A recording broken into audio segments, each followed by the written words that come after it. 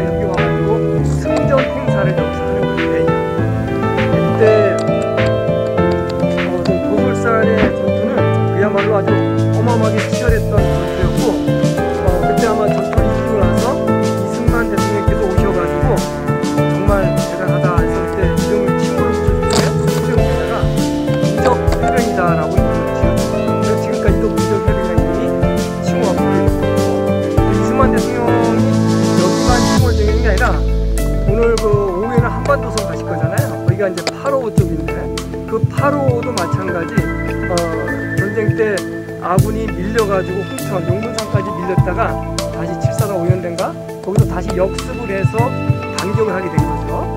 그때 이제 중공군이 어, 이쪽을 도와가지고 와서 올라갔다가 후퇴하면서 더 이상 8호를 만나가지고 후퇴할 곳이 없었던 거잖아요. 그래서 거기에 3만 명 정도가 수장됐다라고 해서 그때 원래 8호는 대붕호였습니다. 그래서 8호 댐에 가시면 길 건너편에 그 댐 건너편에 아직도 비가 있어요. 그러면 대붕호라고 있습니다. 대붕호는 세 붕자인데 커다란 새가 이렇게 하늘 날고 있는 모습처럼 강의 물줄기가 이렇게 생겼다. 평화의 댐을 기준으로 여기는 화천, 상류는 양구. 그것이 그때 중공군 3만 명이 모두 수정되고 나가지고 대통령 오셔가지고 그 이름을 바꾸게 된 겁니다. 대부분을 깰파 오랑캐로 수호자로 이름을 바꾼 거죠. 그래서 중국, 중국에서도 몇 년 전에 이쪽에다가 그 8호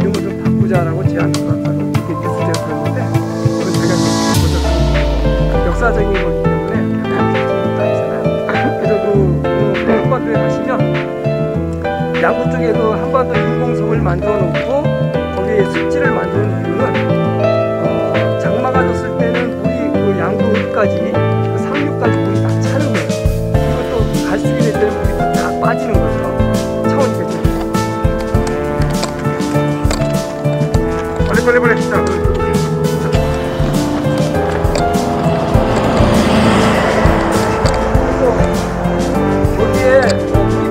나면 그 평지에다가 농민들이 이제 뭐 거기다 농사를 자꾸 지게 된 겁니다. 그러니까 농사를 짓다 보니까 거름을 많이 한 거잖아요. 그러다 보니 비가 왔을 때 물이 잠기면 또 다시 부영양화라는 이 거름기가 많으니까 그래서 거기가 또 오염이 돼가지고 비가 있거든요. 그래서 그거를 어, 예방하는 차원도 있었고 어, 뭐 우리나라 정부에서 마찬가지 모든 국민에게 현금으로 나눌 수는 없지만 어, 어떤 그 자연 환경적으로 친화적으로 이렇게 어, 조치를 해줘서 그게 뭐랄까요 주민들한테 간접적인 소득이 될 수 있도록 이렇게 하고 환경도 지키고 이런 방법을 해가지고 중앙정부에 지원을 받게 돼서 만들게 되고 조리구를 막아가지고 항상 그만큼 있게 처리했거든요. 그래서 그게 여의도 면적에 여의도가 70만 평이면 여기 한 그 한반도 습지가 50만 평. 수도권에 있는 뭐 서울 경기 인구가 우리나라의 절반이 다 거기 살고 있잖아요. 그렇기 때문에 그분들의 식수가 가장 중요하니까 그래서 그 수질 개선하는데 여기서 굉장히 노력을 많이 하고 있다. 그래서 앞에 이쪽에 선생님과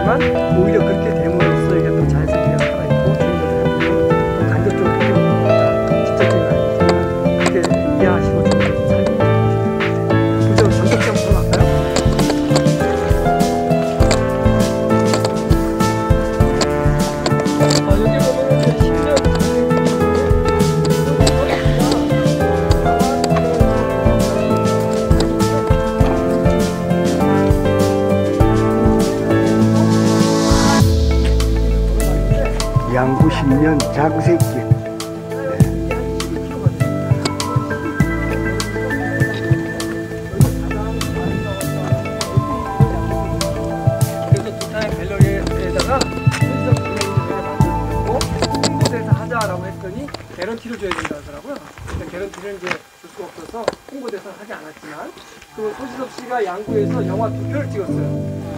오지전이라는 영화하고 카인과 아벨이라는 영화 두 편을 찍었는데 그분이 다닌 길들을 다그 영화 찍고 뭐하고 다닌 길들을 다 해보니까 약 50km 정도가 되는 거고 그다음 소지섭 씨가 또 51K잖아요 저기 보면. 그래서 왜 51이라는 숫자를 좋아하냐 했더니 어, 인생 100세를 뽑았을 때 반 접어서 지금부터 시작. 그래서 50이라는 숫자를 좋아서 자기 소속사 이름도 51K라고 이름을 지었다 양구에는 수원에 가시면 우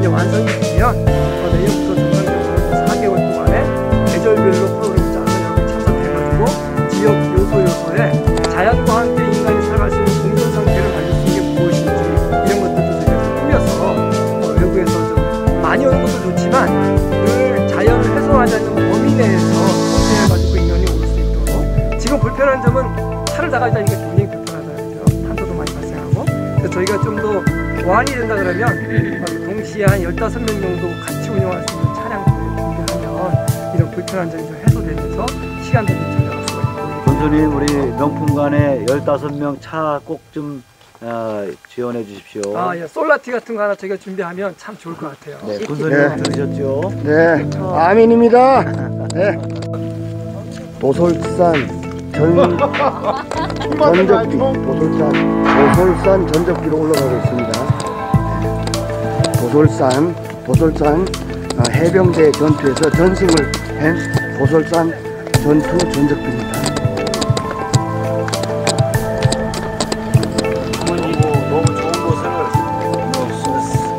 사- 사치, 사사치. 되는데 보시면 아,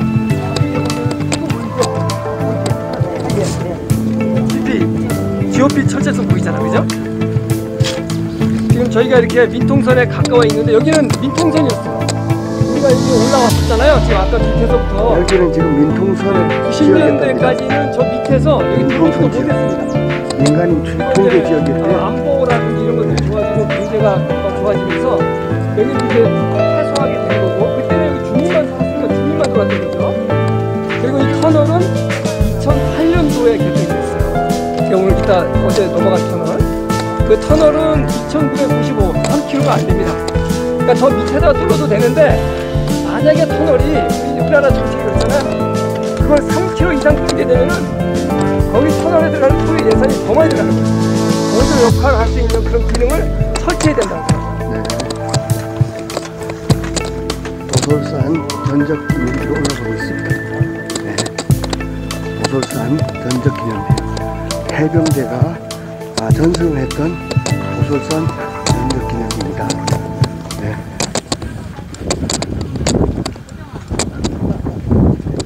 자,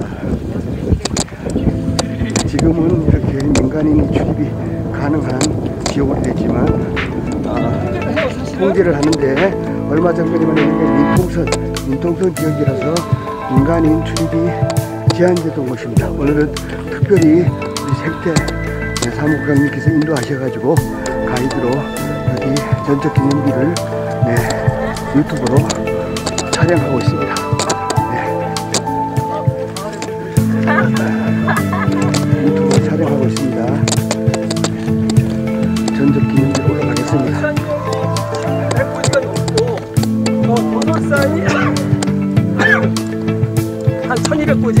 그다음 용루에 있는 대암산이 1340고지예요 와. 굉장히 높은 거고 저희가 이 차량으로 올라올 수 있는 곳 중에 특히 버스로 대형 버스 올라갈 수 있는 고지가 어, 양구하고 제주, 지리산. 와. 그러니까 제주도 같은 경우에는 1100도라고 들어오셨잖아요. 1100도. 이게 1100고지. 그래서 넘어가는 거로. 백도로 그다음에 이제 지리산의 노고단. 요거다 그다음에 양구의 돌산령하고 을지정강. 올산령 천보 이상 되는 옛날에 3대 인간이. 도로 중에 하나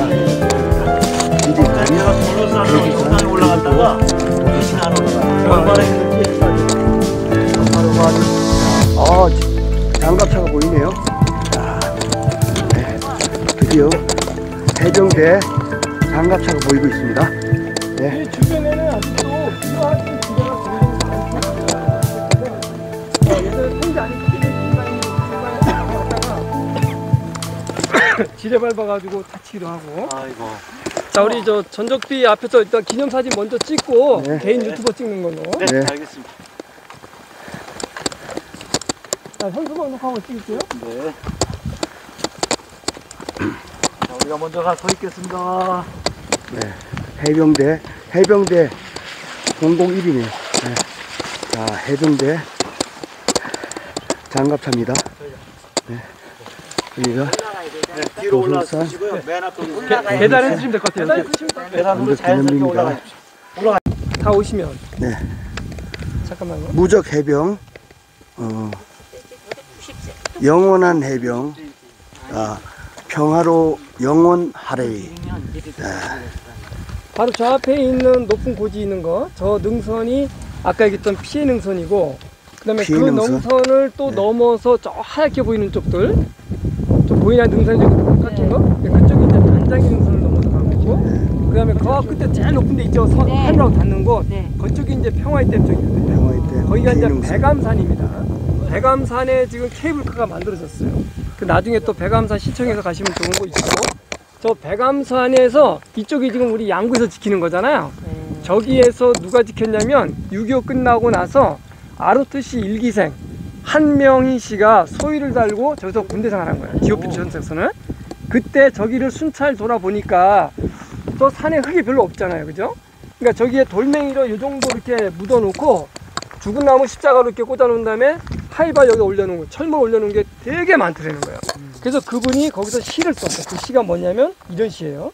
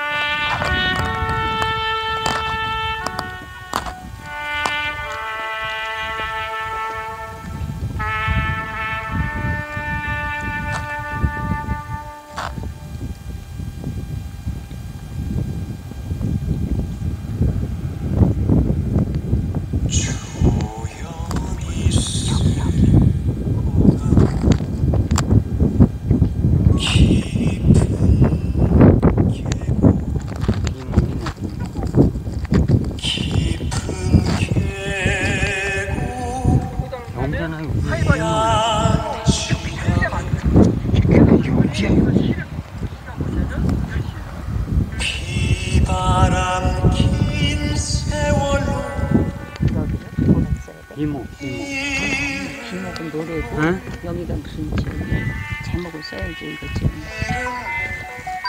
해병대. 해병 전적. 그래요?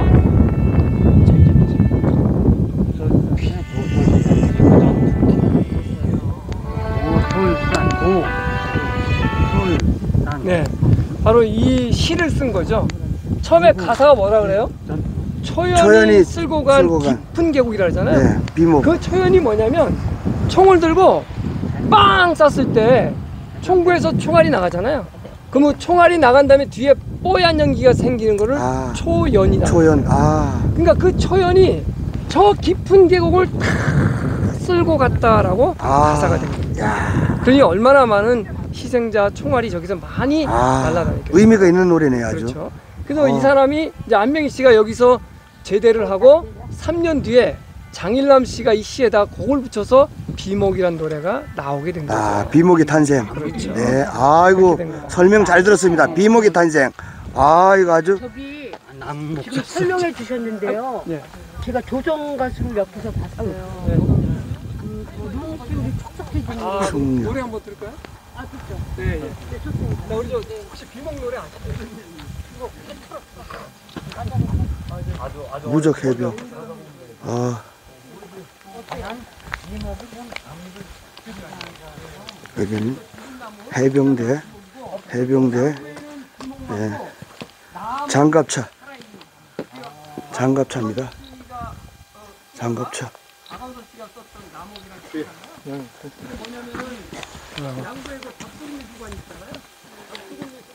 수륙 양용 장갑차입니다. 수륙 양용 장갑차.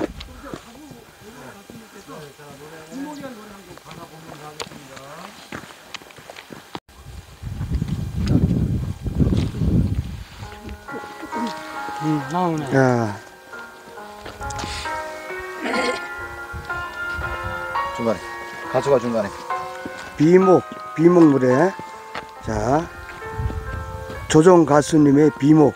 아, 우리 저기 음, 음악 음악 이거 시험 봤었어 이걸로. 비목 노래.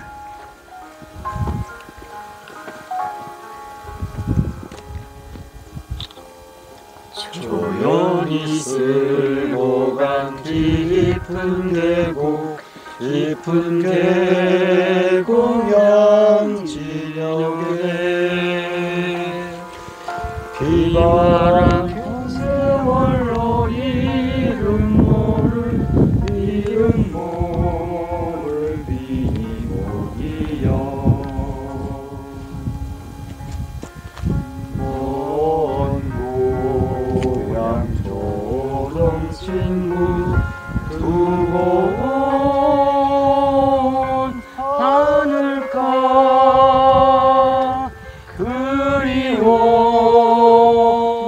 마디마디 있기 되어 배었네 네. 비목의 노래였습니다. 조정 가수님의.